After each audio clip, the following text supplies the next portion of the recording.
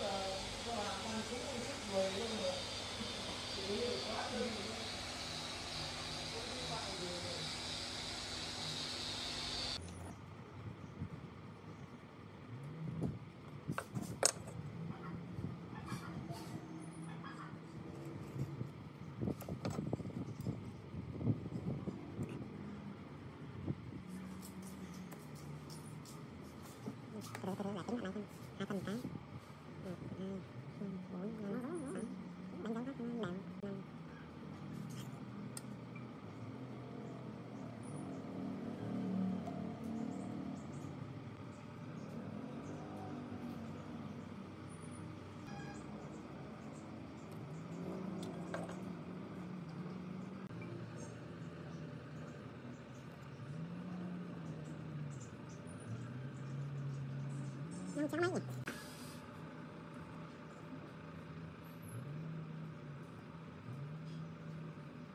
nó hơi trắng này đâu đúng không